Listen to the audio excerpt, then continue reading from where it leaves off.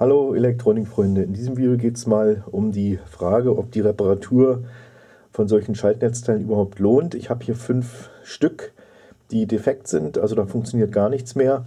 Und ich will mal kurz durchgehen, was ich hier so habe. Ich habe hier zwei von diesen Steckernetzteilen, Voltkraft 18 Volt, 1,5 Ampere. Dann habe ich ähm, von Meanwell zwei Stück, das sind auch zwei gleiche vom Typ RS 100-24 sind 24 Volt, 4,5 Ampere. Und dann habe ich hier noch ein Schaltnetzteil ähm, für industrielle Anwendungen. Da weiß ich gar nicht mal, was da rauskommt. Ich glaube, äh, ja, 48 Volt oder keine Ahnung, sehe ich jetzt hier so schnell nicht. Also da funktioniert bei all diesen Schaltnetzteilen nichts, nichts mehr. Und die Frage ist jetzt, ja, soll ich da mich jetzt ransetzen nochmal und ähm, ja, da irgendwas probieren oder soll ich sogar eigentlich gleich wegschmeißen? Ich fange am besten hier mit diesen beiden kleinen Schaltnetzteilen an, mit den Steckernetzteilen. Dazu nehme ich die anderen hier mal weg und werde mal gleich zeigen, was in diesen Steckernetzteilen drin ist. Und ja, dann mal sehen, ob man die wieder in Gang kriegt.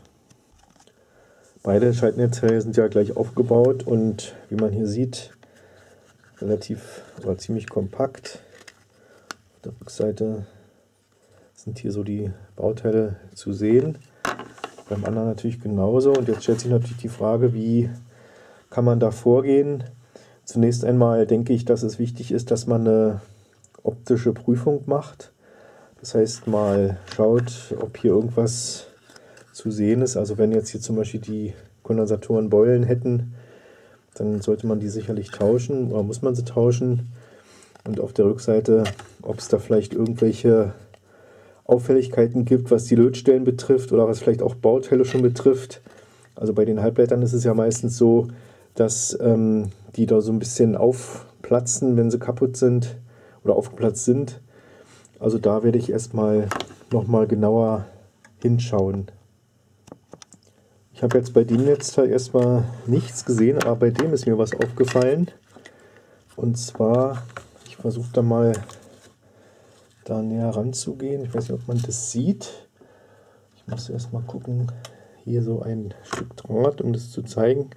Hier an, hoch, hier an dieser Stelle, da, da sieht man, da ist äh, so ein Pin. Das ist hier vom, von dem Trafo wahrscheinlich. Der ist ab. Da sieht man eindeutig, der ist ab. Da war auf jeden Fall die, die Leiterbahn da drumherum mit, mit einer Lötstelle versehen. Der Pin, also der ist ab. Das heißt, hier werde ich erstmal auf jeden Fall Litze nehmen, hier drüber verbinden, anlöten und dann einfach mal probieren, ob es geht. Also das ist jetzt sehr auffällig. Ähm, jetzt ist natürlich die Frage, woher kommt sowas? Man sieht ja, das ist abgeplatzt. Aus meiner Sicht sind solche Sachen mechanisch bedingt. Wenn ich jetzt hier das mal umdrehe, dann sieht man, dass hier der Trafo, das sieht man hier, der ist schräg, der, ist gar, der liegt gar nicht auf. Das heißt, wenn ich, wenn jetzt das Steckernetzteil, ähm, wenn ich das immer wieder rein und raus stecke oder irgendwo transportiere oder so, dann hat es ja eine bestimmte Belastung mechanisch. Und wenn es mir vielleicht runterfällt, dann wird folgendes passieren.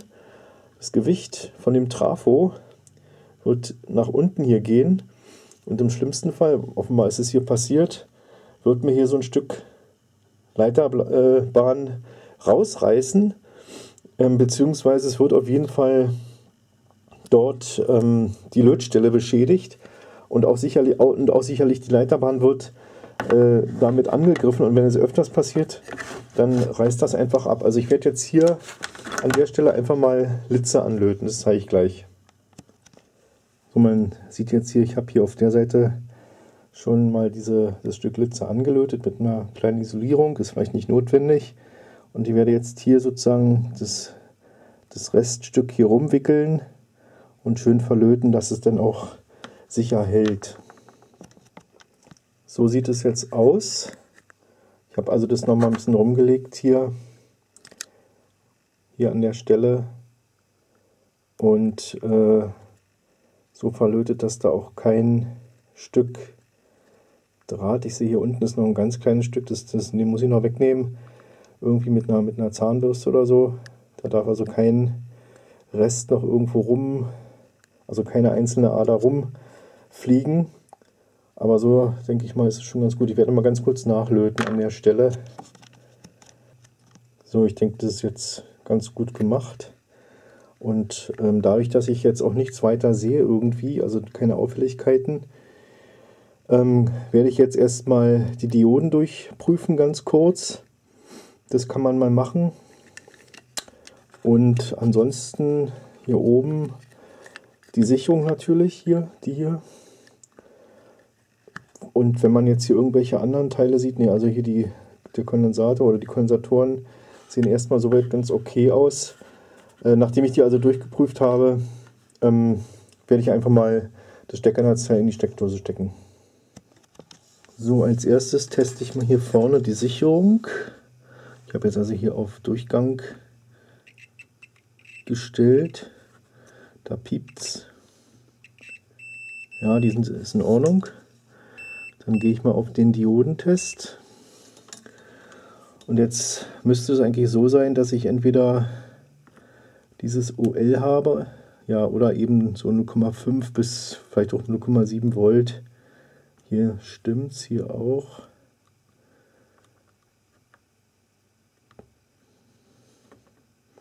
Da auch. Man muss auch schon ein bisschen fester drücken, damit es gut kontaktiert. Also die Dioden hier vorne scheinen in Ordnung. Hier ist noch eine. Die hat 0,7. Mhm. Die scheint auch in Ordnung. Hier ist noch ein Optokoppler, da kann man mal gucken. Da ist ja auch nur eine Diode drin. Die scheint aber in Ordnung zu sein. Auf der Seite, da ist 0,5, ja. Ich weiß jetzt nicht, aber ich denke mal, es ist auch eher in Ordnung. Was haben wir noch? Hier übrigens ist ein Spannungsregler, das ist kein Transistor. Was das ist, weiß ich jetzt nicht. Vielleicht ist es ein Transistor. Könnte man vielleicht mal rangehen, mal gucken. Mhm. Ja, scheint auch ein Transistor zu sein. Hier in dem Fall scheint in Ordnung zu sein. Ähm, gut, die einzelnen Widerstände braucht man jetzt nicht zu testen. Also die Halbwerte auf der Seite stimmen erstmal angeblich oder anscheinend. Bei dem IC weiß man es natürlich nicht, aber es ist, sind doch keine Auffälligkeiten am IC erstmal zu sehen. Ja, normalerweise müsste man, wenn man jetzt, äh, wenn es da kaputt gegangen wäre, würde man das am IC sehen. Und selbst wenn es jetzt nicht geht, na gut, dann war es einfach nur ein Versuch. So, jetzt werde ich folgendes machen. Sicherung ist in Ordnung. Die paar Halbleiter scheinen in Ordnung und jetzt werde ich das Ding hier einfach mal wieder einsetzen. Und achso, ich werde noch einen Multimeter erstmal hier äh, anklemmen, dass ich das messen kann, die Spannung wieder rauskommt. So, ich habe jetzt hier das Schaltnetzteil in der Steckdose, das ist ja mit dem Trenntrafo verbunden. Da zeigt aber noch nichts an und bin hier am Schaltnetzteil am Ausgang. Ich schalte mal ein. Ähm, wichtig dabei ist immer, wenn man jetzt einen Aufbau hat, dass man auch, wenn irgendwas ist, schnell ausschalten kann. Deswegen lasse ich meine Hand hier links jetzt sozusagen am Trenntrafo, falls jetzt irgendwas passiert, dass ich sofort ausschalten kann. Ich schalte mal ein. Da passiert noch nichts. Aber ich sehe, die Leuchtdiode leuchtet. Ist das hier nicht richtig angeschlossen? Ah, hier ist ein kleiner Wackelkontakt. Ich habe hier das einfach nur mit diesen Drähten dran, weil ich habe keinen Stecker hier für das Teil. Muss ich wohl irgendwie festhalten. Ich mache nochmal an. Nee. Wieso leuchtet die Leuchte? Achso, hier ist der ab. Hier ist er ab. Das ist diese blöde Klemme. Nee. Ah, Moment, das ist tatsächlich doch hier nur die Klemme. 18,67 Volt, super, es geht wieder. Damit kann ich jetzt das zuschrauben, hier das Gehäuse und dann das zweite kaputte Steckernetzteil überprüfen. Auch beim zweiten Steckernetzteil verfahre ich natürlich genauso. Das heißt, ich messe jetzt erstmal die Sicherung da vorne und dann die verschiedenen Halbleiter. Ich habe hier schon eingestellt auf dem auf Durchgang hier. Hier ist ja die Sicherung. Die ist in Ordnung und Diodentest mal hier kurz gucken. Ja, das sieht hier ganz gut aus.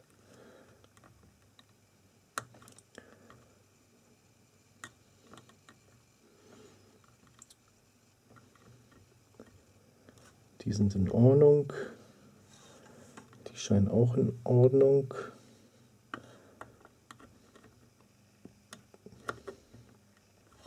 Dann gab es ja diese hier. Die ist auch in Ordnung, der Transistor.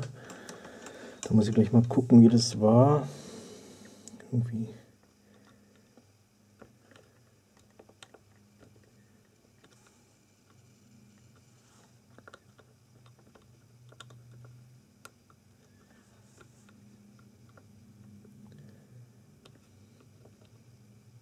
Ja, man muss da wirklich ein bisschen fester draufdrücken, damit es gut Kontakt gibt. Das scheint auch in Ordnung zu sein. Hier waren ja auf beiden Seiten ungefähr 0,5.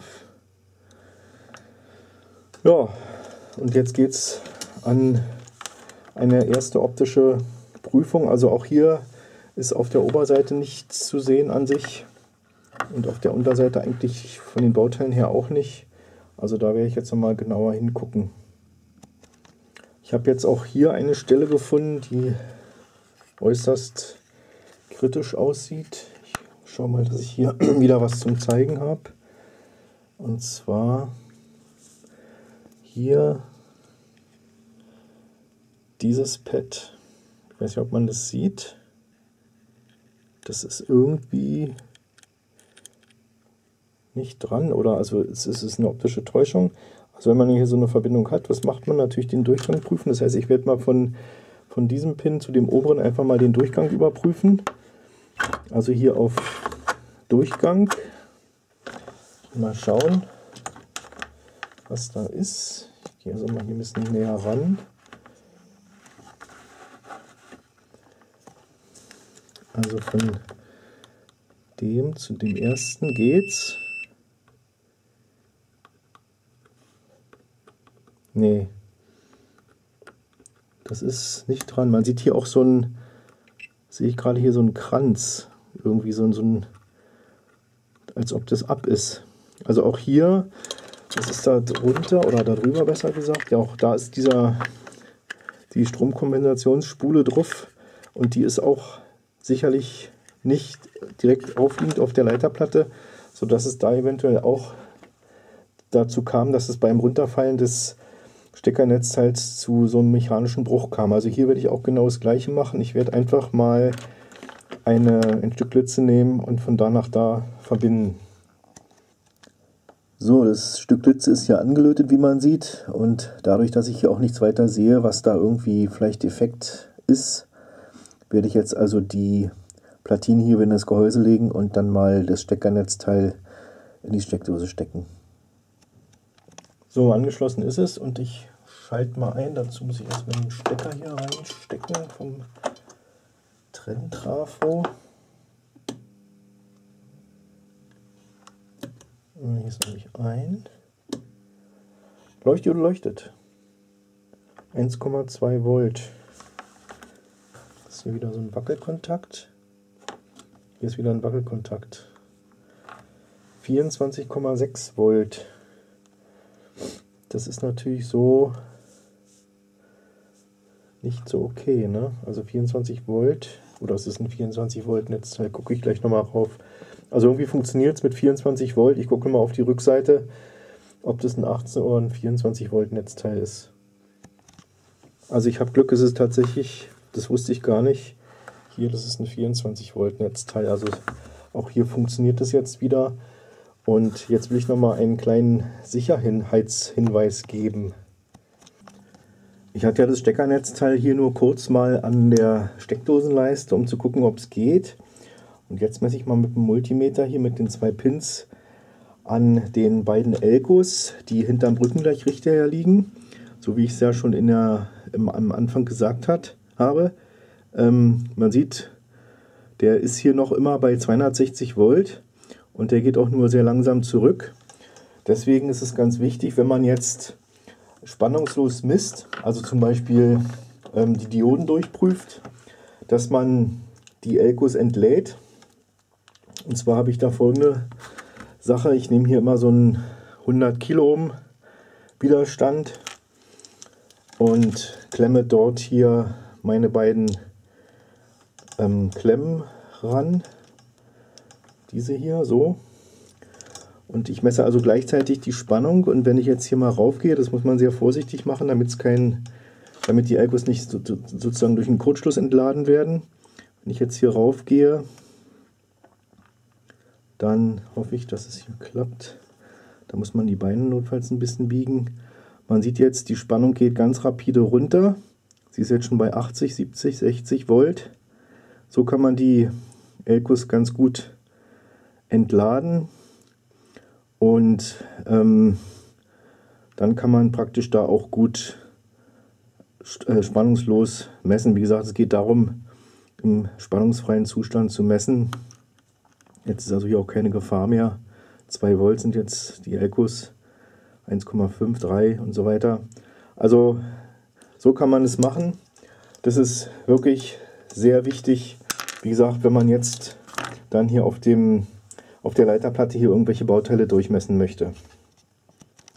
So, die beiden Steckernetzteile funktionieren ja wieder, sodass ich mich jetzt mal um diese beiden Meanwell-Netzteile kümmern kann. Die haben die Bezeichnung RS100-24, also steht bei beiden drauf. Allerdings habe ich schon gesehen, gibt es kleinere Unterschiede. So ist zum Beispiel hier auf der linken Seite der Brückendurchrichter mit dem Kühlkörper versehen und hier bei dem nicht. Und wenn ich jetzt die Leiterplatten mal hier rausnehme und umdrehe, dann sieht man weitere Sachen, die etwas äh, ja, unterschiedlich sind. Ähm, man hat also hier ähm, in dem Bereich noch ähm, die Bauteile auf der Unterseite, also die Optokoppler, die sind hier auf der Oberseite. Ähm, hier an der Stelle, wo es auch ja, gequalmt hat, da sind SMD-Bauteile dran. Also ein paar kleinere Unterschiede sind hier im Design doch vorhanden. Ja, und wie eben schon erwähnt, hier hat also geknallt. Und zwar ist dort, wenn man sich das hier mal betrachtet, das kann man leider nicht so gut erkennen. Dort ist nämlich der NTC hochgegangen. Und zwar ist da ein NTC drin, um den Einschaltstrom zu begrenzen. Also ist dieses Teil hier, man sieht es, der ist also durch. Und ich will ganz kurz mal einen Blick auf den Stromlaufplan und Schaltplan hier von der Eingangsbeschaltung von dem Schaltnetzteil schwenken. So in etwa sieht es aus. Ich zoome vielleicht noch mal ein bisschen näher rein. Ähm, man hat also hier im Eingangsbereich natürlich die Sicherung, dann noch einen Entstörkondensator, dann hat man hier diese Widerstände, um diesen Entstörkondensator nach dem Abstecken des Schaltnetzteils schnell zu entladen. Im Layout hier von, der, von dem Schaltnetzteil selbst ist noch mal ein, eine weitere, sind noch zwei weitere Anschlüsse vorgesehen an der Stelle, nämlich für den VDR, also hier für den Varistor und dann geht es an die Richtung äh, Brückengleichrichter. Und äh, hier unten ist eben dieser NTC drin, der dafür sorgt, dass es beim Einschalten nicht so einen hohen Strom gibt. Ähm, der erwärmt sich also dann, wird etwas niederohmiger dann, also sehr niederohmig und dann fließt auch der gesamte Strom. Also beim Einschalten ist er noch kalt, irgendwie hat er 10 Ohm und dann mit der Zeit wird er warm. Also das ist praktisch so ein Schutz vor einem hohen Einschaltstrom. Der ist also durch und ich konnte auf dem ähm, Bauteil, auf dem kaputten NTC leider nicht erkennen, was es ist. Ich hatte aber mal in einem anderen Netzteil gesehen, also dass da sozusagen hier dieser äh, SCK 125 drin ist. Und zwar ist es ein NTC, der hat 12 Ohm und 5 Ampere maximal.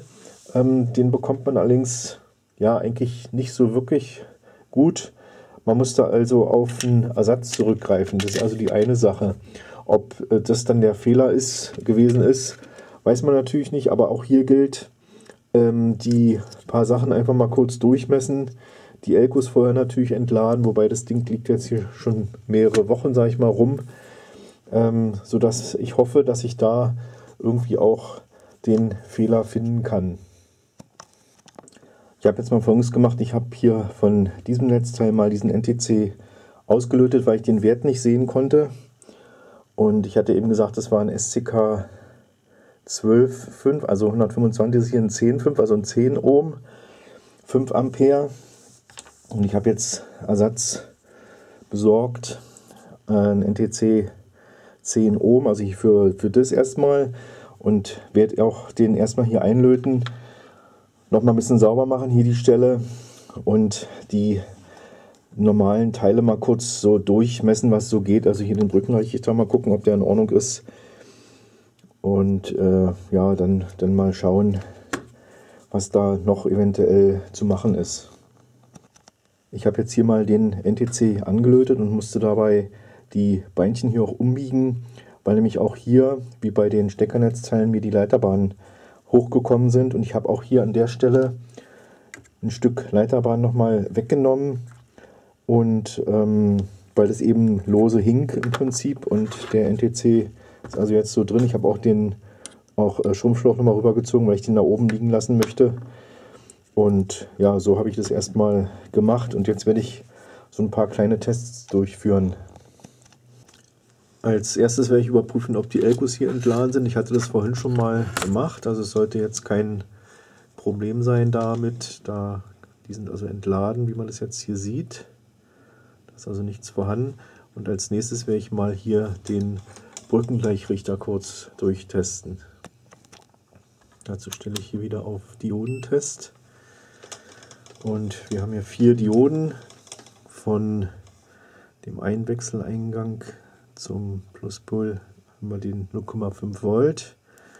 Zur anderen Seite genau das gleiche. Dann haben wir unten auch nochmal hier das gleiche und hier nach oben auch das gleiche. In anderen Richtungen müsste es genau, dürfte es keine Verbindung geben. Und das sieht soweit ganz gut aus. Das heißt, der Brückenrichter ist in Ordnung. Als nächstes teste ich wieder so ein paar Dioden. Ich habe hier gesehen, auf der Oberseite sind so ein paar drin, da sind zwei, da sind auch noch mal welche und äh, hier unter dem Trafo auch äh, welche und hier ist eine Doppeldiode drin. Da werde ich mal gucken, ob man da irgendwie rankommt und die kurz testet. Da müsste ich mal die Pins erstmal raussuchen, wo die da rangehen. So, ich fange mal hier mit den Dioden an und zwar hier in der Mitte. Dort ist eine 0,43 und UL und hier ebenfalls. Das heißt, die beiden Dioden sind schon mal in Ordnung. Hier auf der Seite außen, da ist ein MOSFET und der MOSFET hat die Anschlussbelegung Gate, Drain, Source und zwischen Drain und Source müsste in einer Richtung eine Diode sein. Man sieht hier die Diode 0,6 und in der anderen Richtung eben nichts. Da sieht man, da hat sich irgendein Kondensator aufgeladen. OL scheint erstmal soweit okay. Jetzt könnte man zwischen Drain und den anderen Sachen nochmal checken. Da ist OL, das heißt der MOSFET. Da äh, ist das Gate also isoliert nach wie vor, also nicht durchgeknallt. Der scheint auch erstmal okay zu sein. So, auf der Seite wird es ein bisschen blöd, weil jetzt hier die, die Optokoppler fast unterm Trafo, also der eine zumindest unter diesem Trafo hier liegt. Dazu gehe ich mal hier ein bisschen näher ran, ohne dass man, also so, dass man das Multimeter noch sieht. So, ich hoffe, dass das klappt. Und ich gehe erstmal, also hier ist, noch, hier ist noch eine Diode, eine Z-Diode offenbar. 0,4 irgendwas. Das scheint erstmal okay zu sein. Dann haben wir hier eine. Das ist auch okay. Hier, auf der Seite, muss ich mal gucken, 0,6, okay. Bei den Optokopplern OL und 0,52, das scheint in Ordnung. Hier auch OL und auch 0,53, also Eingangs ähm, Leuchtdiode praktisch da drin in dem Ding. Hier haben wir jetzt diese 0,55.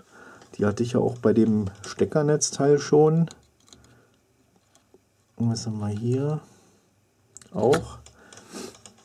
Das war ja beim Steckernetzteil offenbar okay. Kleine Abweichung sollte es geben. Jetzt komme ich da überhaupt nicht mehr ran. Ja. 0,55 556 und bei dem anderen 0,996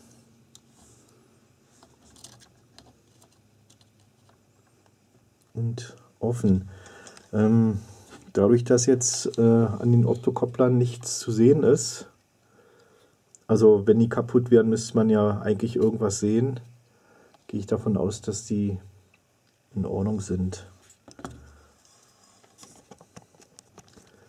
Bei dem oberen Optokoppler hier war ja auf der linken Seite von hier aus gesehen, waren ja die äh, beiden Messwerte gleich. Und wenn man jetzt umdreht, dann ist es ja hier, sind ja diesen beiden Pins und die gehen jetzt hier, sieht man vielleicht anhand der Leiterbahn, an einen Widerstand. Und wenn man es nachmisst, das mache ich nochmal hier mit dem Multimeter, dann ist es ein 2 Kilo Ohm Widerstand offenbar. Deswegen ist der in beiden Richtungen auch gleich, der Messwert. Da 1,98 Kilo, also 2 Kilo, also insofern ist das dann auch richtig. Bei dieser Doppeldiode, die ja hier noch drin ist, das ist diese hier, da ist zwischen den Pins jeweils ein Widerstand von 162 Ohm, also in beide Richtungen, von der Mitte aus gesehen. Und wenn man sich jetzt nicht sicher ist, ob das stimmt, dann kann man ja folgendes machen. Also wenn man das hat, einen Vergleich. Ich habe ja hier den Vergleich mit der anderen Leiterplatte, mit dem anderen Netzteil. Da messe ich genau das gleiche.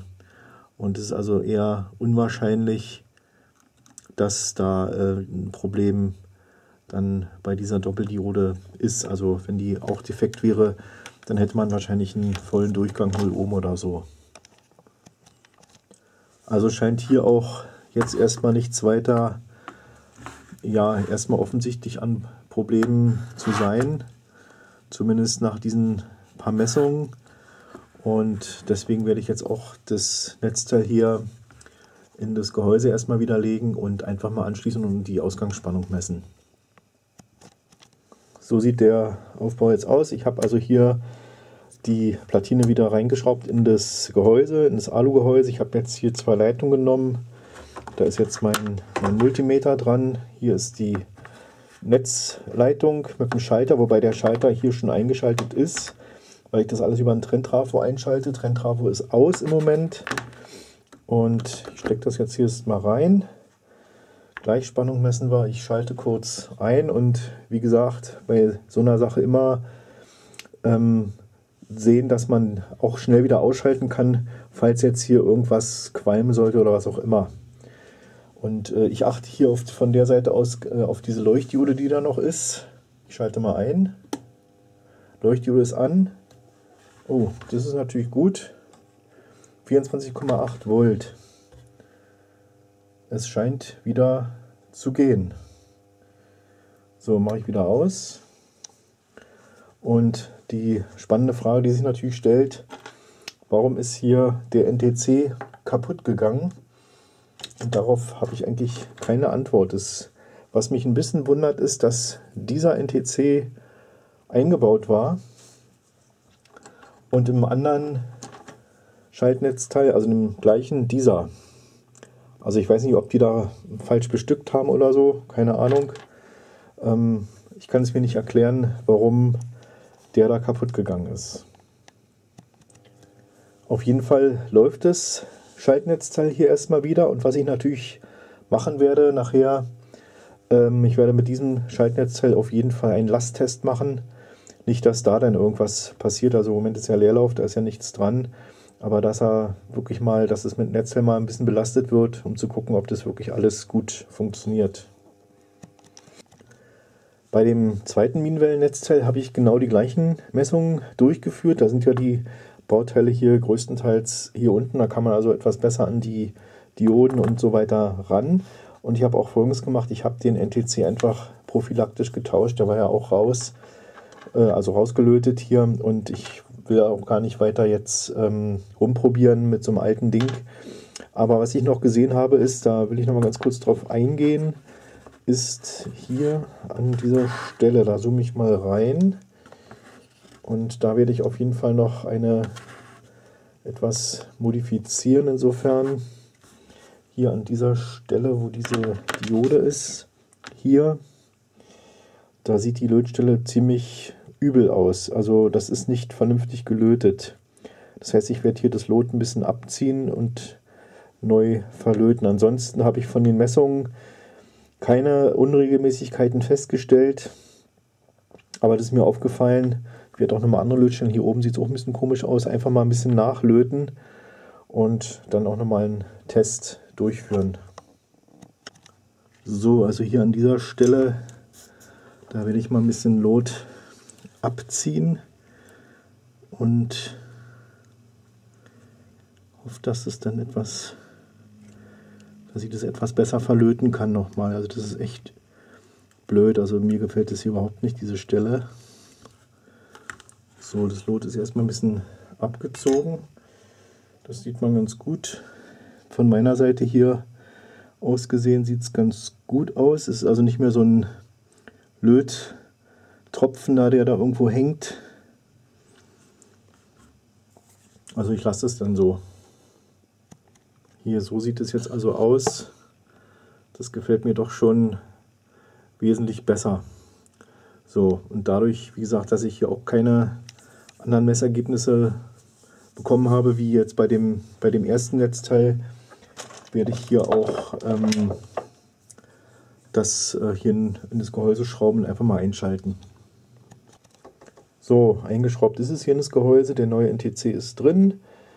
Netzspannung ist hier am Trenntrafo. Messen tue ich die Ausgangsspannung. Ich schalte mal ein. Ich beachte auch hier mal die Leuchtdiode hier im Netzteil.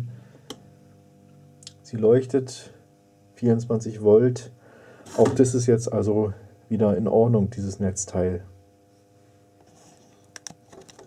Auch bei diesem Netzteil werde ich natürlich einen Lasttest machen, um zu gucken, ob das wirklich alles okay ist. Und dann habe ich ja noch ein fünftes Netzteil und da schauen wir gleich mal rein, wie das so aussieht. So sieht hier dieses fünfte Schaltnetzteil aus und ich habe nochmal genauer reingeguckt hier oder raufgeguckt. Da ist also in der Tat so, da kommen 48 Volt raus bei irgendwie 3, noch was Ampere. Es ist äußerst kompakt und es ist vor allem richtig voll gestopft oben und unten. Und äh, was ich schon mal festgestellt habe, deswegen sieht man auch hier, dass einige Bauteile rausgelötet wurden von mir. Ich habe festgestellt, dass eine von den Sicherungen, da sind also zwei drauf, defekt ist. Also sind hier diese Sicherungen, die sind defekt. Und das Blöde an der ganzen Geschichte ist, die Sicherungen liegen ähm, zum einen hier, also hier an dieser Stelle, es geht noch, da kommt man dran, und die andere ist dort verbaut und das war alles komplett zu. Da war also ähm, nicht nur der, äh, hier der, die Stiftleiste davor, sondern auch noch hier ein NTC und äh, ein VDR, also hier einmal den VDR und einmal den NTC, die waren beide davor äh, und auch nochmal eingeschmiert hier mit Silikon. Deswegen habe ich das alles rausgelötet und ähm, habe auch natürlich schon Ersatzsicherungen gekauft. Die sind also die Ersatzsicherungen und zwei Stück braucht man davon. Also es ist nicht nur eine drin, sondern zwei. Und ich werde jetzt erstmal die Sicherung und so weiter wieder einlöten. Den NTC, den VDR und was ich auch noch gemacht habe vor einiger Zeit, weiß gar nicht mal warum, ich habe also noch mal ein paar neue Elkos gekauft. Ähm, wahrscheinlich ist das hier nicht notwendig, aber ich habe es trotzdem gemacht, weil das Netz ja schon ein bisschen älter ist und auch in Betrieb war. Ähm, deswegen sieht man hier drei Stellen, die frei sind. Also einmal hier, da ist ein 47 μF 400 Volt Elko drin gewesen. Und hier sind zwei Elkos noch drin gewesen und zwar 22 μF 250 Volt, also diese hier, also das sind jetzt die neuen, oder das ist jetzt einer der neuen. Ähm, das löte ich erstmal wieder alles zusammen und mache natürlich genau die gleichen Messungen, die ich jetzt hier mit den Minenwellennetzteilen gemacht habe, wobei natürlich sehr problematisch ist, weil hier doch ein Haufen Zeug drauf ist. Ich habe jetzt hier mal den NTC und diesen VDR eingelötet. Man sieht, es ist hier wirklich sehr eng und ich habe auch dem VDR hier einen Schrumpfschlauch verpasst, damit es da keinen kurzen gibt. Das ist alles sehr dicht. Man sieht auch hier, der Stecker ist noch dazwischen. Das ist alles blöd. Und als nächstes werde ich ähm, hier an dieser Stelle die Sicherung einlöten. Hier sieht man jetzt die Sicherung, wie ich sie eingelötet habe. Es ist alles wirklich extrem beengt und ganz wichtig bei so einer Sache ist jetzt hier, dass man darauf achtet, dass die Lötstellen auf der Rückseite natürlich einigermaßen vernünftig sind und es da vor allem keine Überbrückung gibt. Also man sieht jetzt hier zum Beispiel zwischen diesen beiden Pins, die so dicht beieinander sind, da ist der VDR hier drin. Also ich finde das ziemlich krass und eigentlich auch schlecht gemacht vom Layout. Das hätte man sicherlich besser machen können, aber so ist es nun mal. Und jetzt kommt hier noch der Entstörkondensator rein und dann die anderen Elkos. Bei der Stiftleiste, die werde ich erstmal draußen lassen, denn wenn ich das anschließe und mir fliegen wieder die Sicherungen durch, dann fange ich ja wieder an, alles auszulöten. Das heißt, hier will ich ein bisschen Litze anlöten und ähm, dann vielleicht einen Funktionstest machen, nachdem ich dann nochmal die ganzen ja, diskreten Bauteile, Dioden mal kurz durchgecheckt habe. Ich habe jetzt bei der ersten optischen Prüfung leider was festgestellt. Da ist mir nämlich eine kleine Diode entgegengeflogen, nämlich diese hier. Und zwar ist die gelabelt mit A2 oder 2A, ich weiß jetzt gar nicht mal genau. Und ähm, ich habe auch schon gesehen, wo die herkommt, nämlich von, ich muss mal kurz was zum Zeigen haben. Moment. Die Diode war hier drin. Man sieht es noch an dem Bestückungsdruck. Die ist also irgendwie lose gewesen oder wie auch immer. Und dann ist mir noch eine andere Sache aufgefallen bei der optischen Prüfung, nämlich hier oben an dieser Stelle. Das sieht man vielleicht ganz gut. Da ist ja dieser Widerstand, aber da ist nichts angelötet oder so. Also da ist jetzt kein Pad mehr. Jetzt weiß ich nicht, ob der da kontaktiert oder nicht. Ich werde auf jeden Fall diesen Widerstand mal rauslöten und gucken, wie das da drunter aussieht. Den Widerstand habe ich hier abgelötet, wie man sieht. Hier. Und jetzt ist für mich die Frage, da ist also das ist tatsächlich kein Pad, aber auf der Rückseite, wenn ich das hier so drehe, das sieht man hier auch so ein bisschen durch. Da ist gleich eine Durchkontaktierung. Das geht also hier nach oben. Und die Frage ist, wie kriegt es jetzt wieder hin, dass da die, die Verbindung da ist? Äh, denn auch das Pad scheint ab zu sein. Also man sieht hier so einen Rand, da wo das Pad war, aber das ist nicht mehr da. Und äh, da werde ich wahrscheinlich ein Stück Draht oder sowas nehmen, ganz dünn, und dann versuchen irgendwie durch die Durchkontaktierung da durchzuziehen, damit da der Widerstand angeschlossen werden kann und angelötet werden kann. Ich habe jetzt äh, nochmal genauer hingeschaut, auch hier auch rechts davon, von diesem Widerstand. Da ist nochmal so ein 1,3 Mega oben und da ist auch das Pad schon so halb ab. Das heißt, den Widerstand werde ich jetzt auch dann erstmal auslöten. Ich habe für beides schon Ersatz da und werde dann hier neue Widerstände einlöten.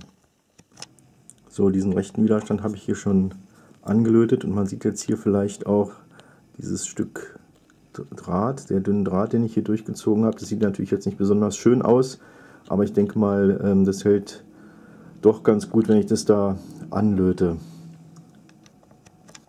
So, man sieht jetzt hier, die beiden Widerstände sind dort angelötet. Ich habe auch unten hier die Diode erneuert.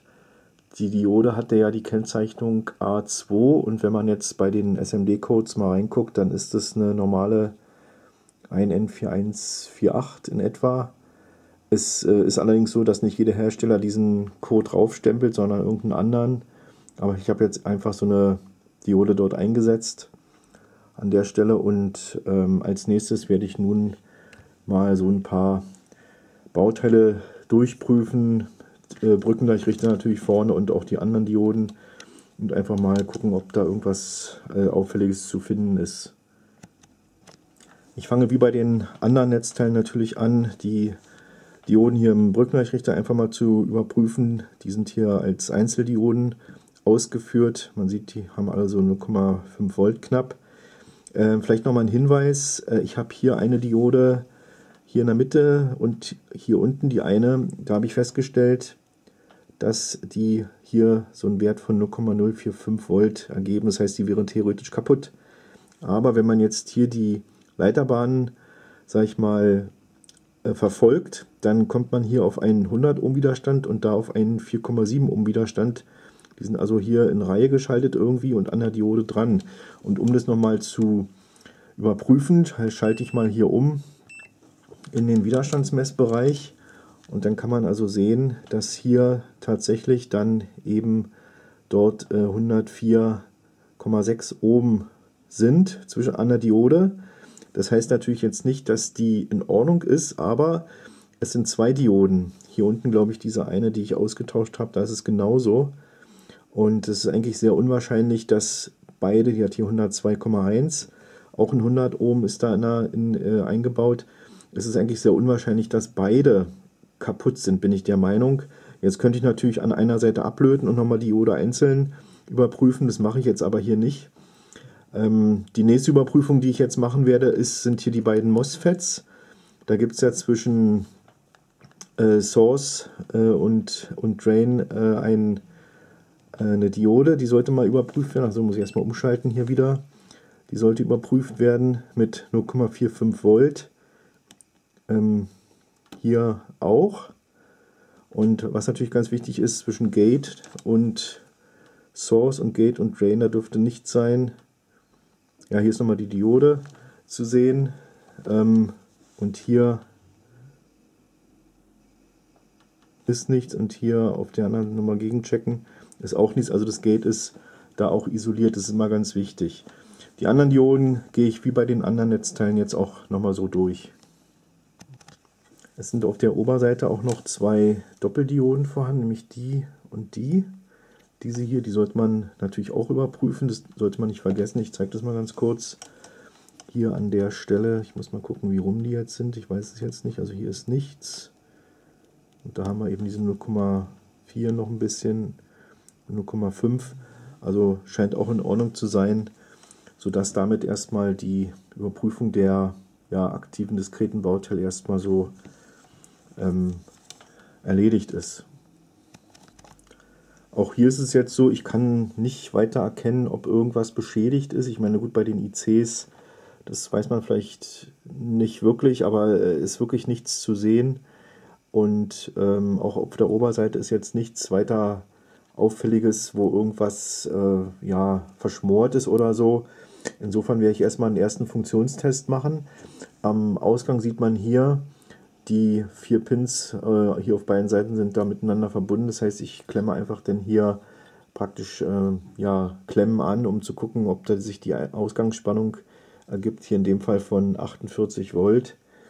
Und dann sehe ich ja, ob es einigermaßen passt. Und wenn es dann funktionieren sollte, dann werde ich natürlich auch bei dem Netzteil nochmal einen Lasttest durchführen. So, Funktionstest kurz durchführen. Aufbau ist wie bei den anderen Schaltnetzteilen, also hier oben die äh, Steckerleiste, äh, die ist am Trenntrafo dran. Und man sieht, ich habe jetzt hier eine Leitung angelötet und nicht diese Stiftleisten, falls mir jetzt doch irgendwie die Sicherungen hier durchfliegen sollten.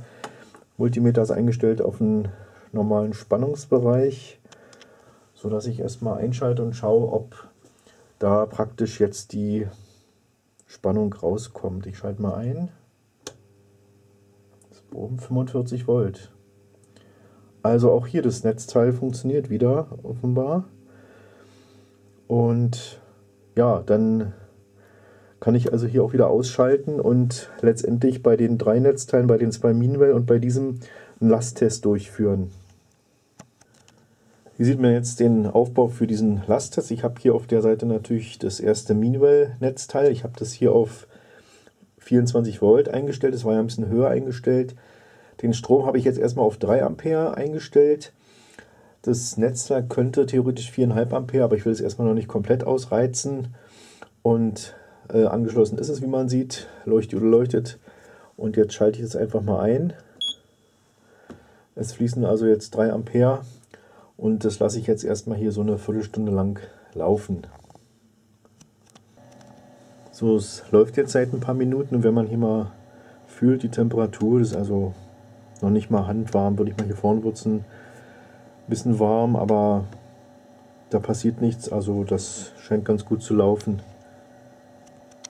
So, der erste Test lief erfolgreich und jetzt werde ich das zweite Netzteil hier dann anschließen. Das zweite Netzteil ist angeschlossen. Jetzt drehe ich mal hier am Poti und stelle so ziemlich genau wie bei dem anderen eben auch 24 Volt ein. Huch, das war jetzt etwas zu viel. Und schalte auf 3 Ampere und nehme dann die Zeit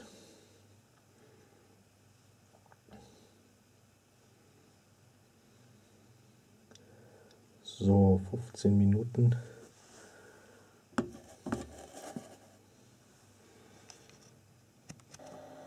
Auch bei dem zweiten ist es so, es sind irgendwie noch dreieinhalb Minuten. Ähm, es wird nur handwarm, also da ist jetzt nichts weiter Auffälliges, dass da irgendwas äh, sehr warm wird. Also es scheint auch okay zu sein. Hier für dieses dritte große Schaltnetzteil von Digital Power habe ich keine Anschlussklemmen, weder im Primärbereich noch in, am Ausgang, sodass ich das hier notgedrungen angelötet habe, die Leitung und auch die äh, Leiterplatte jetzt hier auf Abstandsbolzen gesetzt habe. Und jetzt mache ich genau das gleiche, nämlich hier einschalten erstmal, dann den Strom einstellen. Das kann maximal 3,3 Ampere. Da würde ich mit dem Strom etwas runtergehen. Man sieht hier jetzt schon, die Ausgangsspannung beträgt so um die 45 Volt. Ich mache jetzt ESET, mache ich mal nicht 3, 3 Ampere, sondern äh, 2,5 Ampere und starte das Ganze. Auch hier nehme ich die Zeit so in etwa 15 Minuten. So ist jetzt noch eine Minute und was hier, hier sehr warm wird, ist hier vorne der Übertrager. Da sind wir jetzt ungefähr bei ja, knapp 60 Grad, aber alles andere wird nicht wirklich warm. Also das ist auch hier noch im normalen Bereich. So, die Zeit ist um. Und ähm, ja, ich werde jetzt erstmal hier ausschalten und dann nochmal kurz Resümee hier für diese fünf Netzteile. Meine Anfangsfrage war ja die, lohnt sich das eigentlich oder hätte ich gleich diese fünf Stück hier wegschmeißen sollen?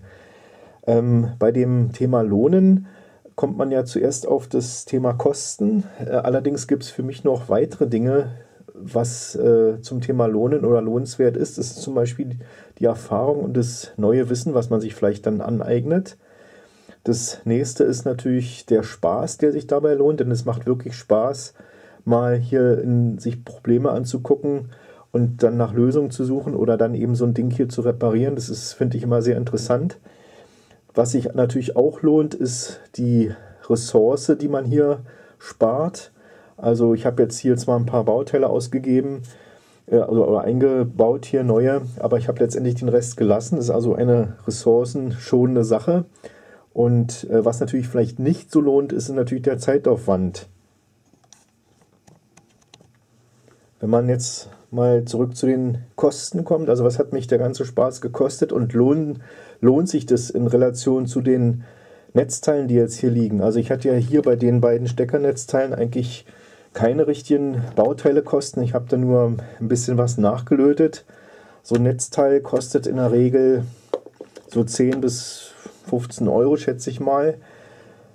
Ähm, vielleicht auch billiger, klar, wenn man jetzt irgendwo aus Fernost das bezieht, äh, da lohnt sich das vielleicht überhaupt nicht von den Kosten, wenn man da jetzt auch noch Bauteile sag ich mal, ähm, kaufen müsste. Allerdings die anderen lohnenswerten Sachen lohnen denn doch schon, die ich ja eben genannt habe. Bei den Meanwell-Netzteilen ist es so, die kosten ungefähr, je nachdem, wo man sie bezieht, zwischen 20 und 30 Euro das Stück. Da ist dann schon mehr die Frage, ob sich das mit den Bauteilen lohnt. Ähm, ich habe hier in dem Fall nur die beiden NTT, NTCs getauscht. Die kosten auch je nachdem auch so 2 Euro, 3 Euro vielleicht auch, ähm, plus Versand natürlich, das muss man alles dazu rechnen. Aber im Gegensatz zu den 20 bis 30 Euro, die man hier ja, hätte ausgeben müssen für ein neues, äh, lohnt sich das vielleicht schon. Ähm, von den Kosten her ist dieses aber sehr interessant. Das ist ein Industrienetzteil. Das bekommt man einzeln praktisch gar nicht. Und wenn man es bekommt, ist man mit 150 Euro dabei. Und das ist natürlich klar, dass sich das da von den Kosten am meisten lohnt. Denn was habe ich ausgegeben? Die zwei Sicherungen, die Elkos, da die SMD-Teile, die paar, das ist also nicht der Rede wert. Ähm, da lohnt sich das von den Kosten allemal. Vom Zeitaufwand hatte ich ja gesagt, das ist vielleicht nicht so lohnenswert. Weiß nicht, jetzt nicht, wie lange das Video ist, so knappe Stunde vielleicht, schätze ich. Man kann also rechnen, dass ich äh, insgesamt, wenn ich jetzt mh, hm, das in Ruhe gemacht hätte, doch ja etwas länger gebraucht hätte. Äh, es ist ja so, bei dem Videoschnitt nimmt man ja Dinge raus, wo man vielleicht nochmal vorher geguckt hat, was ist da und misst nochmal nach, bevor man den, das Video dreht. Also der Zeitaufwand ist größer, auf jeden Fall, weil man eben doch sehr viel suchen muss, was man denn auch nicht mitfilmt. Also ich schätze mal Faktor 2 auf jeden Fall. Also da ist man denn bei diesen fünf Stück bei ja zwei, vielleicht auch drei Stunden. Ich weiß es nicht genau, ich habe es nicht gemessen. Aber das sind so die Dinge, die ich jetzt da nochmal loswerden wollte zum Thema, lohnt sich das alles? Ja, und das war mal dann hier wieder so ein, eine Reparatursession, fünf auf einen Streich. Ich wünsche weiterhin viel Spaß und tschüss.